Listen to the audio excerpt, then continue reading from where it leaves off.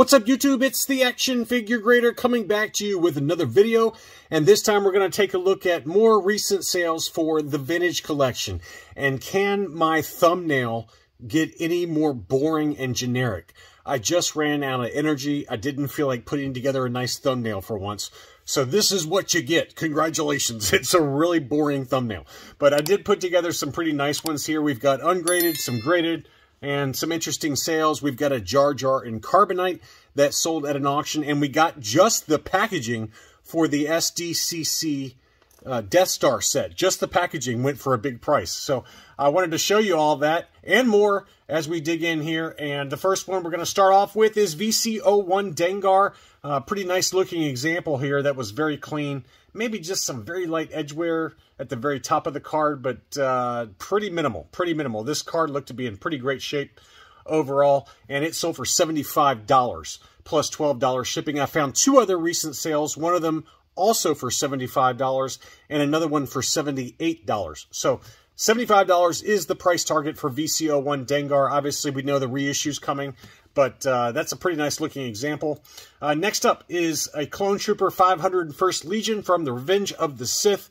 This was an unpunched U.S. card with the Darth Maul offer. This one just sold at an auction for $101. And I did find a couple of other data points that were kind of right in line with that price point.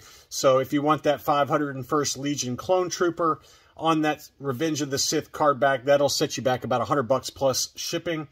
Uh, Anakin Skywalker Name Pill Revenge of the Sith. This is a punched example. This one sold for 112.50. And that, that seems to have come back down just a little bit. Obviously, the unpunched is where the big money is, but uh, this punched example seems to be kind of coming back down to earth. 112.50 plus shipping took that home.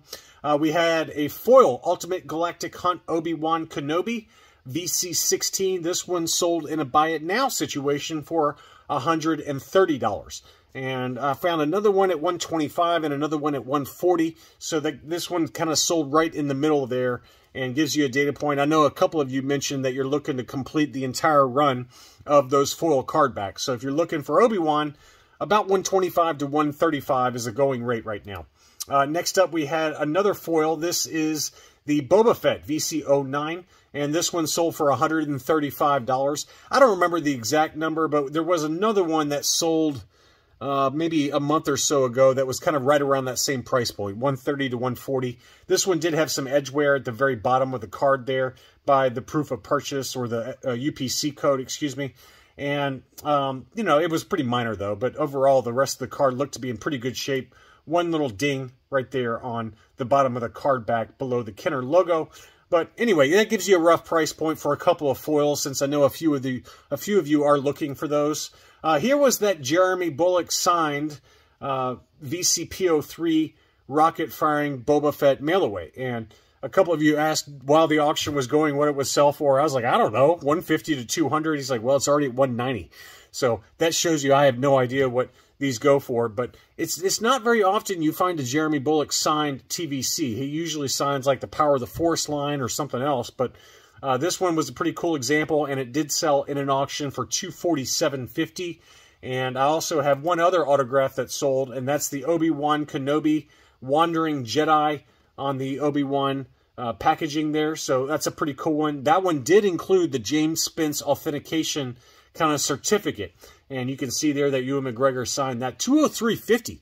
That's a good price if you ask me. I don't know what he charges, to, you know, at these conventions and things like that to sign, but I have to believe that this was a pretty good deal at 203.50. And just a side note, if you have something like this where you already have the JSA certificate, you can still send this in to Collector Archive Services for the Signature Series grading, and they won't charge you the grading fee, the, the grading of, the, or the authentication of the autograph fee of $35 if you send in the JSA certificate with it. They'll say, okay, well, it's already been certified by JSA. You don't need to, to pay it again.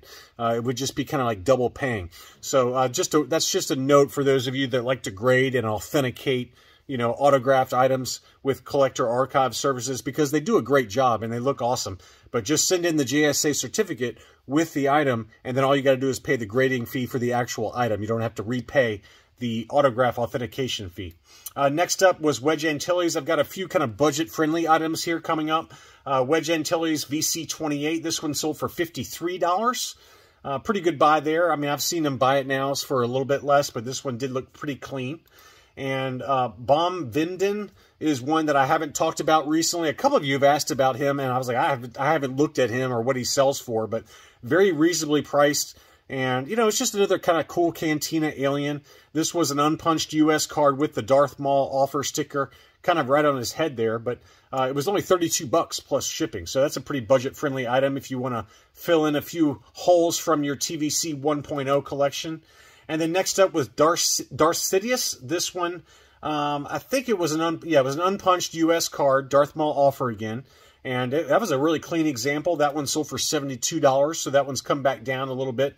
Uh, but a pretty nice looking example for the original issue Darth Sidious.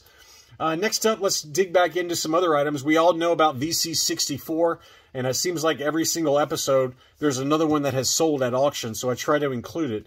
But Slave Leia, uh, this one had the prototype Fett offer, and this was the return of the Jedi packaging. This one sold in an auction for 305 plus shipping on 33 bids. That one closed on July 16th. So on the low end, maybe with some slight damage, maybe 250 to 275 $300 when it's in really good shape. This one looked to be in pretty good shape overall. Uh, that's a pretty good buy at 305 if you ask me. It's 350 kind of seems to be the normal rate for a near mint to near mint plus example. But, uh, you know, just looking at the photos, it looked really, really clean. And uh, 305 was a pretty good buy there. Uh, Darth Vader VC 115, The Emperor's Wrath. My oh my, have times changed. This one used to go for like as high as $300.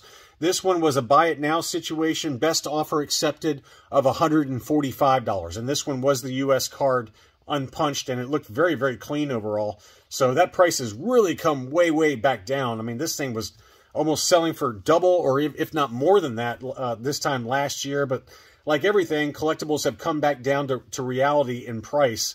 And this really clean example sold for $145, best offer accepted. Uh, next up, I do have a few graded items, and then we got some other items after that that are not graded, but this was an uncirculated 9.25 Barriss Offee with the Darth Maul offer.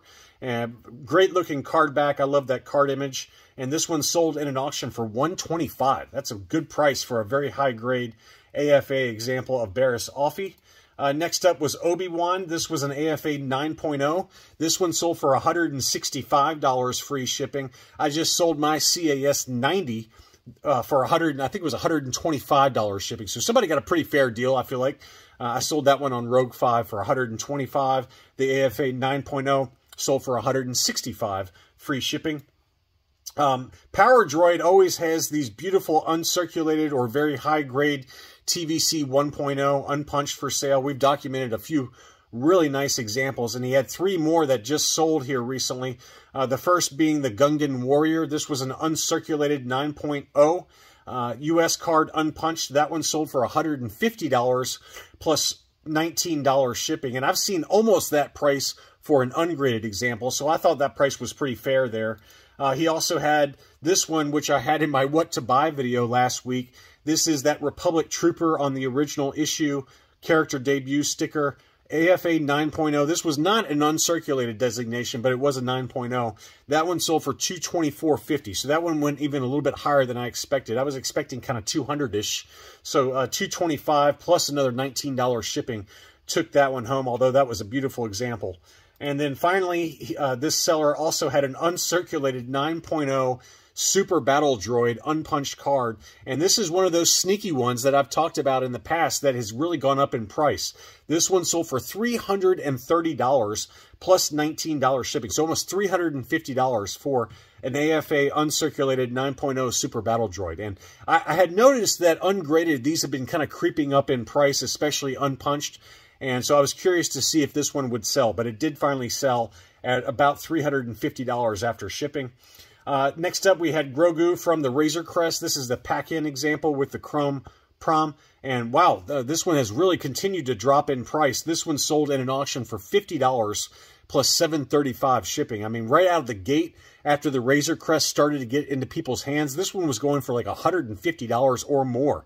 And so now it's selling for about less than a third of that at $50. I mean, I was thinking like $80, maybe $75, but $50 for a pretty nice looking example of the Grogu Razor Crest pack-in. Uh, next up, here is the packaging for that SDCC Death Star set. And this is just for the box, okay? This is just for the box. And it sold for $600. So it's pretty incredible what even just the packaging now for this SDCC set sells for. And the packaging admittedly did look to be in really great condition.